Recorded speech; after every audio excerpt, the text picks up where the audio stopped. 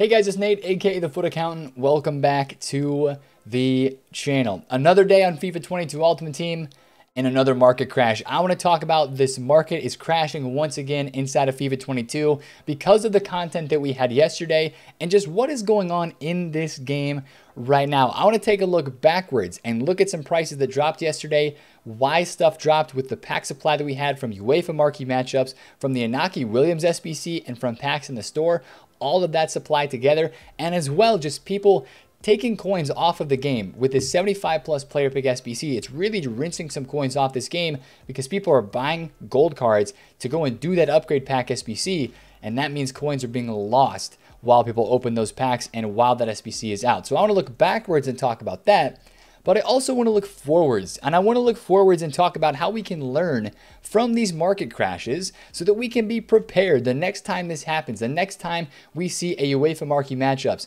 or a pack supply SBC or, you know, the new weekly fluctuation where a lot of stuff is its highest on Mondays and a lot of stuff reaches its lowest on Fridays. That's the normal weekly fluctuation. And just talk about how those market movements can play on a weekly basis, how you can avoid losing a lot of coins on crashes like this that we seem to have every single week, right? Every single week we seem to have big drop-offs in this game. So if you're enjoying the videos on the channel, make sure to hit a thumbs up on this one. And of course, subscribe if you're new. Let's get into it, right? I'm going to the SBC section because that's where the panic was caused and that's where this market dropped today. That's why this market dropped. It's this SBC right here, the UEFA marquee matchups SBC. Now, usually on Thursdays, we see the market drop because of regular marquee matchups. And now we have UEFA marquee matchups on Champions League's weeks. Um, we'll see this released, released basically every single week. There are Champions League, uh, Europa League, and Conference League games inside of the midweek. We should expect one of these marquee matchups SBCs. People were expecting this yesterday, right? And that was part of the market drop heading into 6 p.m. content. But with this tradable pack supply SBC that basically everybody is doing, because that's really cheap. It's really easy to do these marquee matchups SBCs because of this pack supply in here, three solid packs that you get for a very cheap SBC. Even this Inaki Williams SBC gave out some tradable pack supply. All the packs in here are tradable.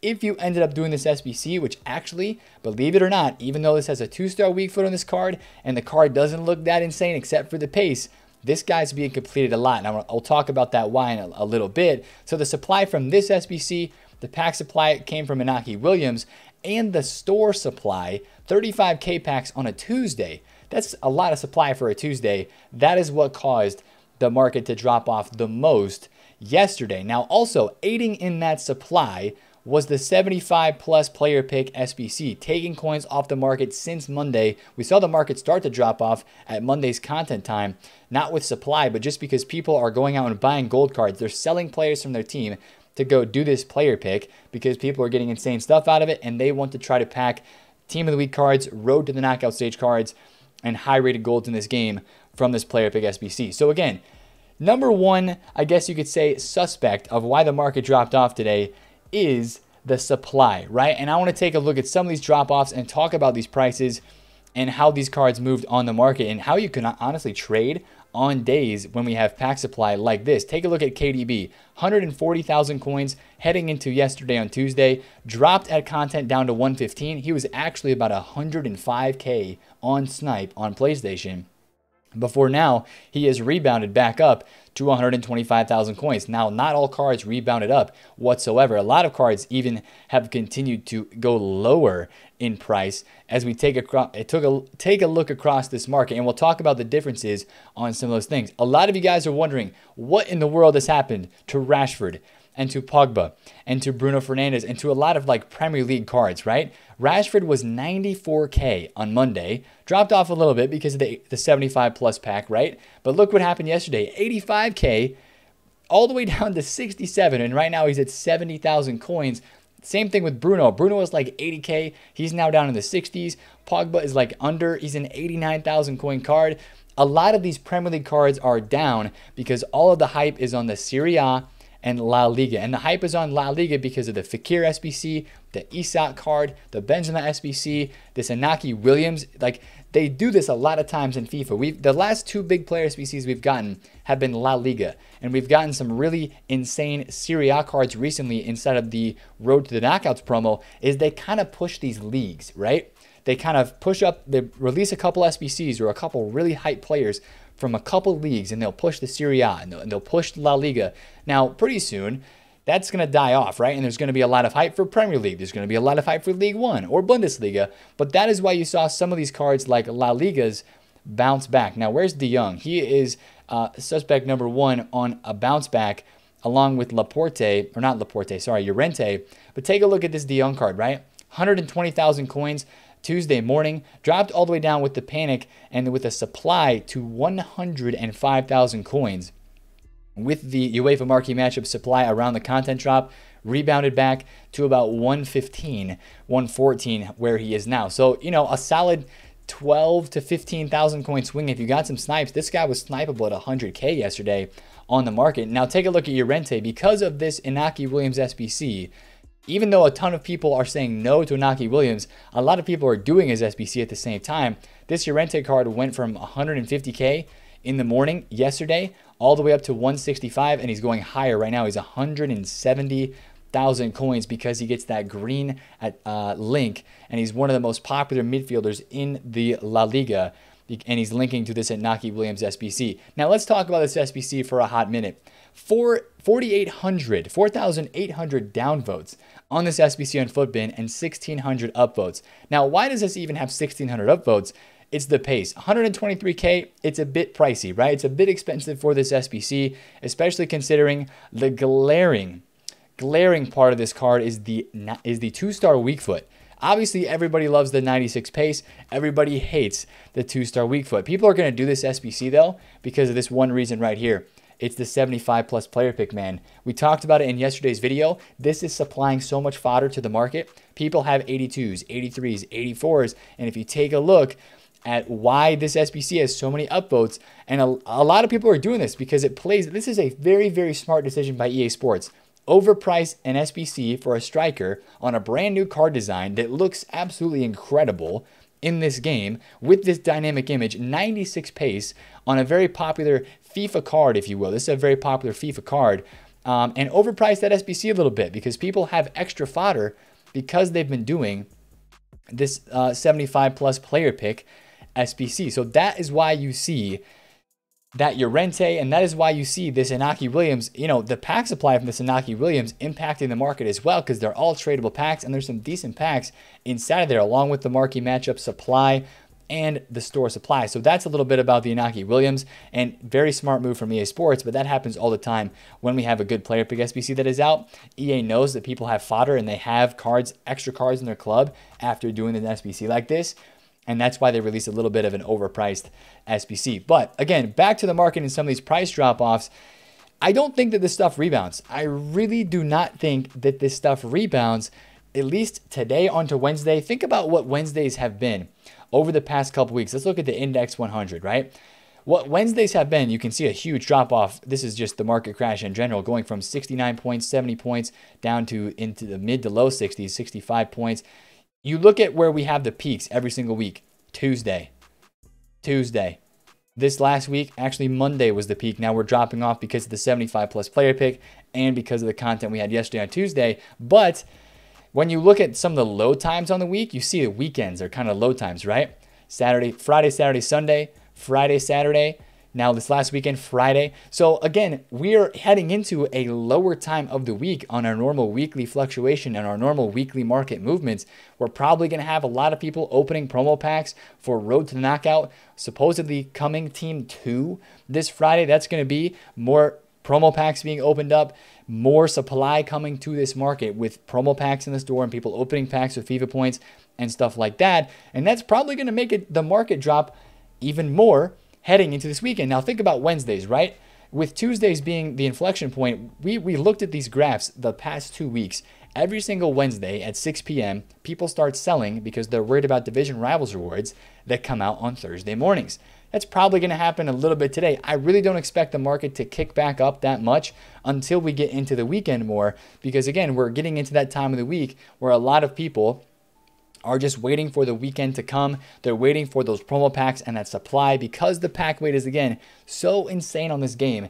They know that the Fridays, with all those packs being open for the new promo, whatever it is, is kind of the low point. So for most cards on this market, right, this may not, you know, this may not pertain to your guys like Kanté or Mbappe or Messi or Ronaldo, Neymar that are just so high in price that are just like the elite tier that so many people are just trying to get right now. But for a lot of your guys like maybe even Kimpembe, you know, these cards might fluctuate a couple thousand coins over the next couple days, but especially if you're looking to buy one of these for your team, I'd be waiting still. I would be waiting still if you sold one of these earlier in the week when we talked about selling on Monday you're, you're happy because you sold Kimpembe at 70K. Now you're looking at him at 60,000 coins and you're licking your chops, right? You're maybe thinking Friday, I might be able to get him for like in the 50s, right? 55,000 coins.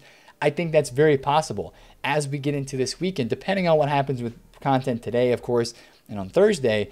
Um, but you're probably going to see prices dropping off a little bit more into this weekend. I'm not really expecting a big rise today as this market just feels dead. This market feels really dead. I've been trading with a few things today besides icons and a couple of these out of pack specials, I was able to time some fluctuations just right. I bought all these ESOCs uh, for right around 89. I think, I got one at 89, I got one at 90, a 91, and a 92. And I sold them between 96 and 103K. So that was a good fluctuation trade there. Um, it just, it's hard. I've had this, uh, one example.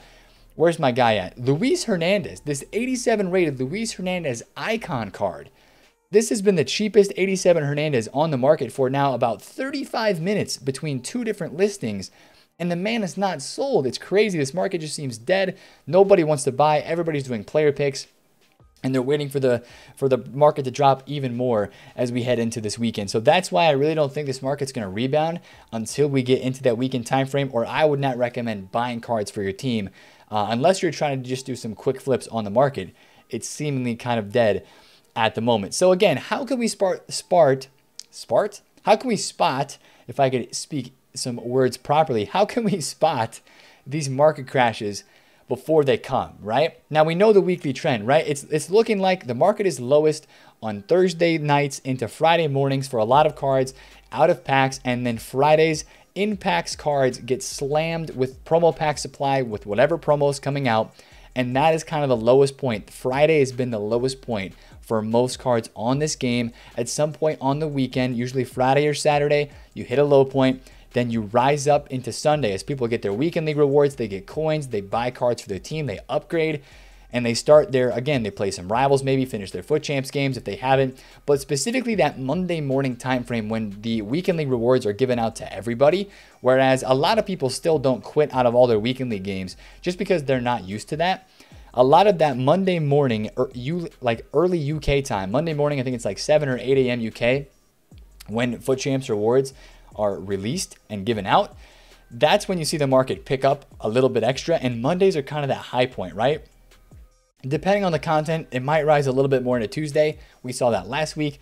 But you kind of know that on UCL weeks, you're probably going to have some of this pack supply on a Tuesday with the UEFA marquee matchups. You know that on Fridays, there's a lot of panic selling and there's a lot of supply from promo packs. And you know on Thursdays that we get these regular marquee matchups SBCs, which supply the market a decent amount. Uh, so you kind of just get the idea and you figure it out that you know, usually the Wednesday, Thursday time frame is when you see the market drop off into the weekend, and then you kind of get to that peak on the Monday time, time frame. And if it's a UCL week, probably the next time we have UCL, which I think is like, again, not next week, but the week after, when we get these UEFA marquee matchups, SBCs again, I'm going to be telling you guys on Sunday, like, hey, watch the market on Monday because we're going to have more pack supply. It's going to kind of be that sort of thing. Now, sometimes EA will spring a pack supply SBC on us at any time. Like we have these SBCs like the underdogs, right? Jumbo Premium Gold Pack. That's not a very good value or a very good pack um, as a tradable pack in this game. Rare Electrum pack untradeable. If they made that tradable, that might move the market a little bit. If you see a random tradable pack supply SBC is what we call these, a tradable pack supply SBC, where it's just an SBC to get a pack.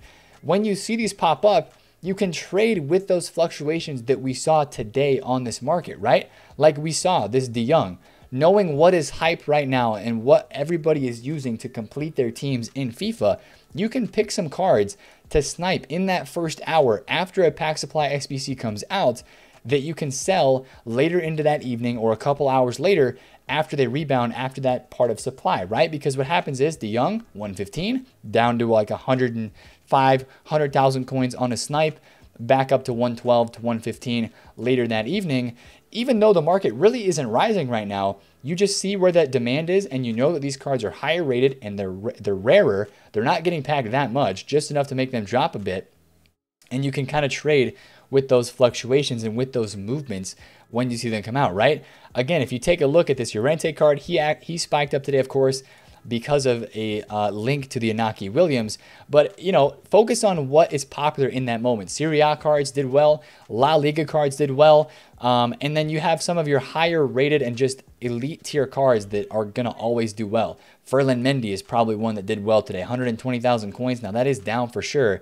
Uh, but he was dipping into like the 116 range. He was probably 110 at some point, so not a huge rise on the Ferland Mendy, but uh, the Kevin De Bruyne again is just a great example of a card, 91 rated, one of the best midfielders in this game, dropping off as much as he did yesterday from 140k down to 100,000 coins. That should set off some alarm bells. That should be like, oh man, this card is stupid cheap right now. I need to get involved. And you see that again, that high rating, right? That high rating means he's not getting packed that much, even in the year of supply that we're having.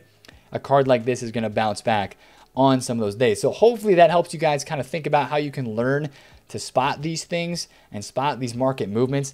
And again, explaining what happened yesterday and why prices drop. So with that being said, I do want to look at a couple other things, some information that we learned um, just actually a couple hours ago uh, about the game. Now, I know you guys have heard about this glitch, right? That's why Team of the Week was so supplied this past week, and Team of the Week is, is still dead, as a lot of stuff is on this market. Uh, EA tweeted that they identified identified over 30,000 active accounts that exploited the no loss glitch for Weekend League and have suspended them for FIFA 22 Online for seven days, preventing them from participating in this week's FUT Champs Finals.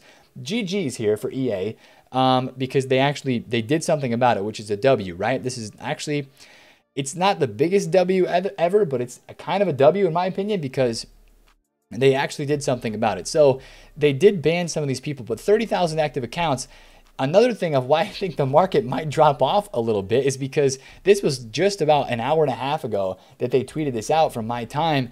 And uh, that means that there's 30,000 less people that are not going to be able to be playing Weekend League this weekend, that won't be able to access their accounts for a week. And that means even less demand. So, how is the market? I know this 30,000 active accounts isn't uh, that big in the grand scheme of things on FIFA Ultimate Team, but this is 30,000 accounts that were in the Weekend League doing this glitch. And if Weekend League, the people that qualify for Weekend League is still only a small percentage of the population, that's even less demand coming this weekend um, for prices rising, or maybe even after like rivals rewards today. So I would just be careful about some of the gold cards this weekend, um, and just you know expecting really big rises on this market because we have less people playing the weekend league uh, in total. So that's just something to kind of think about. Uh, and also, just I hope none of you guys are banned, and hope none of you guys did this. But um, you know, that's I think EA did have actually a slight actually a slight W here from doing this. Now also we had our first pack code tweet from Put, uh, Footwatch earlier tonight. A Prime Gaming exclusive pack contains seven rare players, two player pick with a minimum 81 plus overall. In years past, this would have no effect on the market, and I don't remember if Prime packs are tradable or untradeable. I'm pretty sure they're untradeable.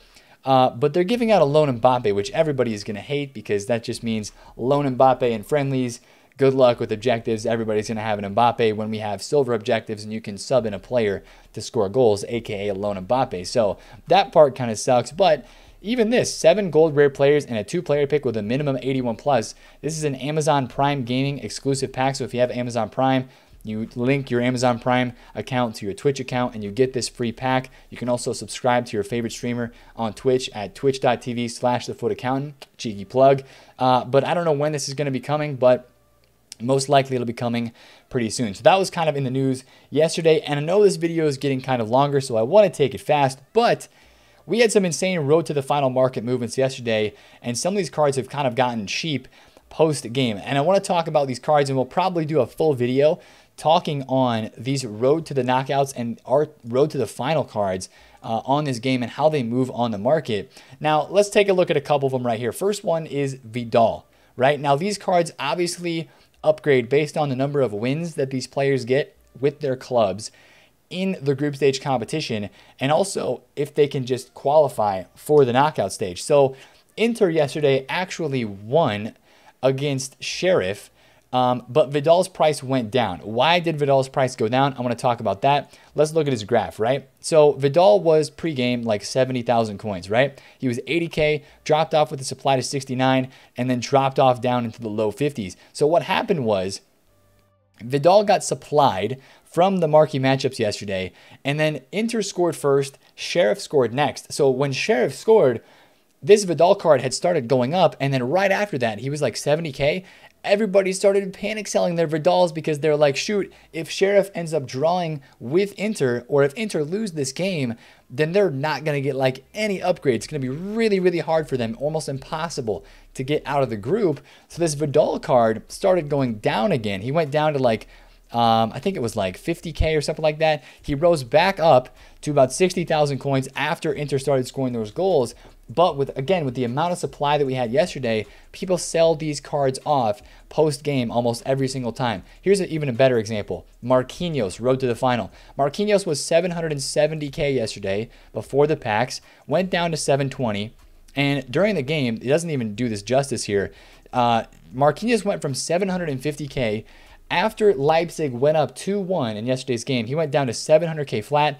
And then, of course, when they came back, did I say two to one? Two to one. Leipzig was up.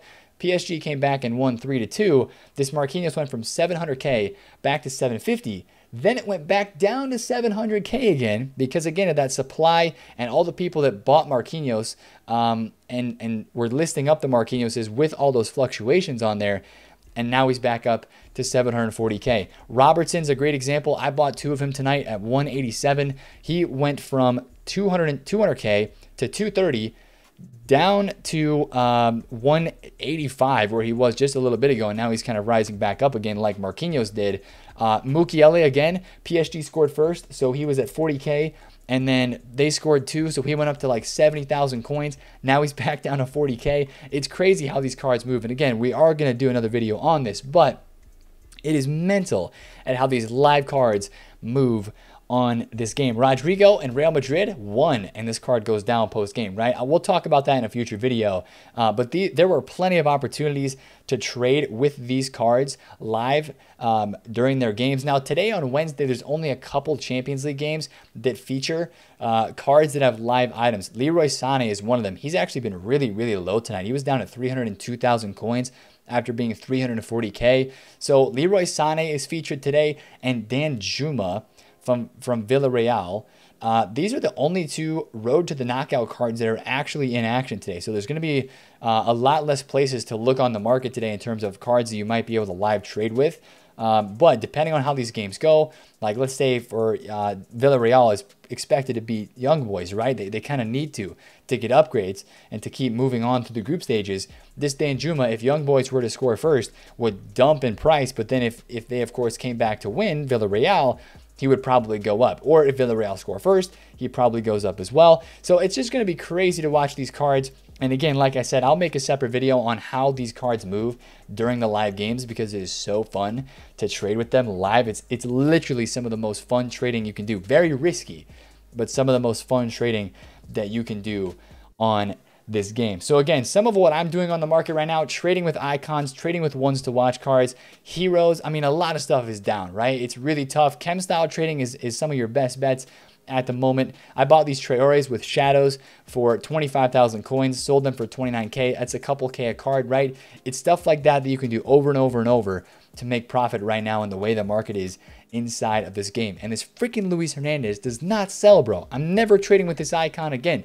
I know there's somebody out there that wants to link their 87 Luis Hernandez with their brand new Chucky Lozano inform is 20k, and now I'm getting undercut, bro. Oh my goodness. All right, well, hopefully overnight this card sells because he I just need him to sell. It'd be a really nice flip, and you know he should sell. That's all I'm saying. Anyways, that's the video for today, boys. Hopefully you did enjoy it, and hopefully it helps make sense of what happens and why the market crashes on this game. Again, number one thing is supply, supply, supply.